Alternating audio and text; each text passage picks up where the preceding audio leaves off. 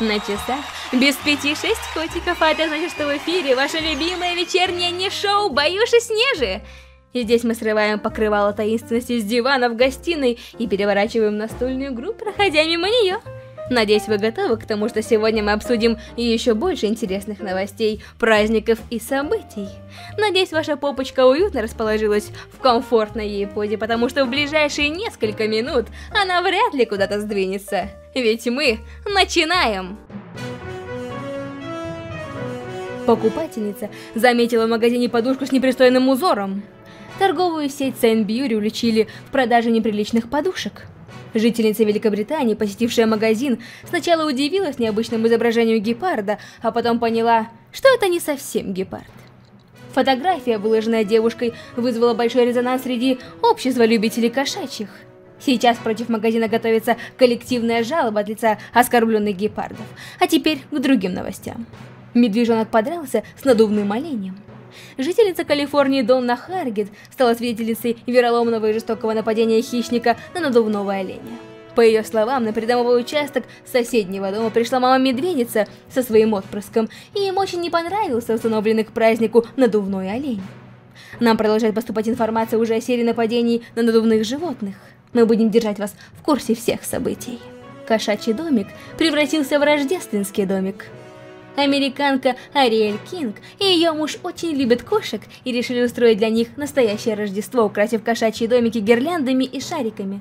Хвостатые любимцы начали оживленно рассматривать и играть шариками и украшениями, но часть комментаторов из сети заметили, что гирлянды из лампочек могут быть опасны для животных.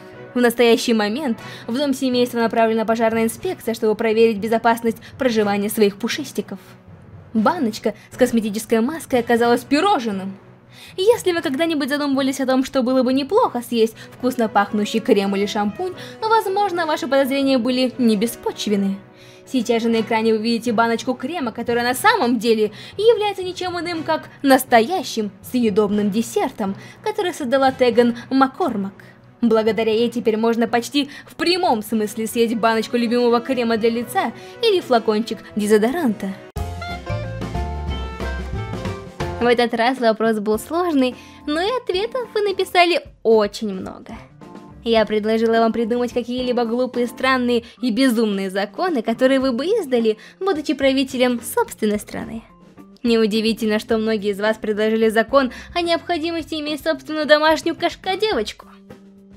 Да, понятно.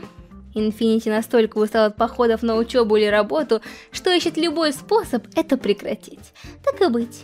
Если очень попросишь, я на тебе посижу, чтобы ты не шел на работу. Я же все-таки кошечка. Иерусалим не ищет легких путей и предлагает обязать всех есть суп вилкой. Так и на диете никому не придется сидеть. Удобно. Глеб Мамонт, как по-настоящему свободный человек, хочет быть свободен во всем и собирается запретить носить штаны, чтобы его ничего не стесняло.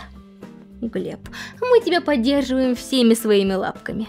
Хохол-попрыгун за то, чтобы хорошее поведение поощрялось вкусняшками, а плохое, видимо, чем-то невкусным, например, бэ, брюссельской капустой. Уставший от коротких и грустных аниме-сериалов, Аризонский рейнджер запретил главным героям умирать, пока они не отработают несколько сезонов. Микки согласен разрешить выходить на улицу только в плюшевых тапочках, а Казуки Бис добавил к ним еще и арбузный шлем. Ярик знает точно, что в первом классе нужно проходить мангу. Да, полностью поддерживаю. Наконец, самый важный закон готов издать Димон. Он собирается обязать всех подписаться на канал Снежи. Требуем сделать это прямо сейчас. Я стала замечать, что у вас прям зависимость от моих шариков. Вы о чем подумали? Я воздушных, с предсказаниями. В общем, давай уже тыкай в один из них.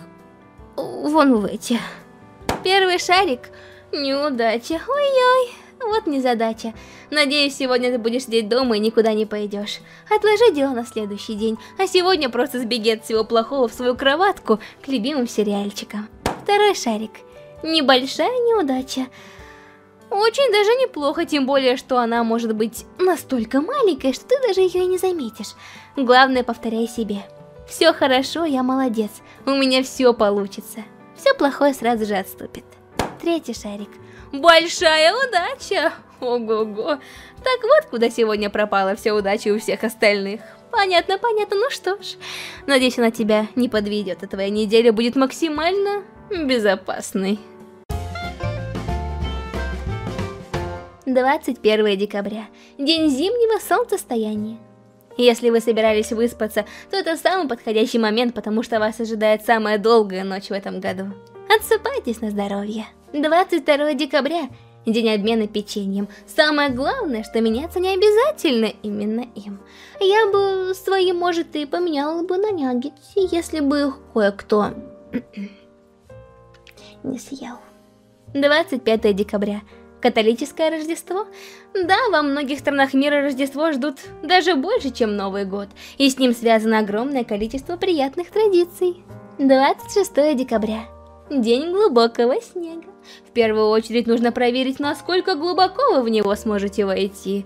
И как раз от глубины захода будет зависеть приятное ощущение от праздника.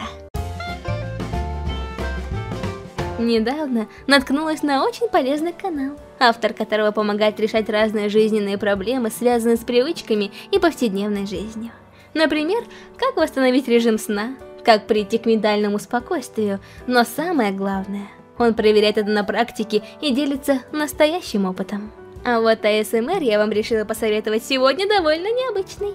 Если вдруг вам не нравятся такие видео от людей, то почему бы не попробовать от черепашек или хомячков? Надеюсь, неделька прошла очень хорошо у вас, а следующая будет такой же хорошей. Постарайтесь, пожалуйста, и будьте особенно аккуратны, когда готовитесь к новогодним праздникам. Встретимся с вами в следующем вечернем мне шоу «Боюши Снежный». До скорого и сладких вам снов. О, Христос воскрес, а я, похоже, не воскресну. Сейчас мы вам покажем, как пройти к ментальному спокойствию по коридору налево. Ой, до меня дошло. Первый шарик. Ёб твою Первый шарик. Долой штаны, свободу беструсомному царству. Трусам тоже долой. Нет, только легкие шортики. Это крик души был. А почему не полежу? Не понял. Подожди, фри, фри! подстава прям с, с, сходу. Она хочет, чтобы я была ее женой. А оказалось, нет, не хочет. Пройдемте к вашему ментальному спокойствию. Третья дверь налево, дальше туалета.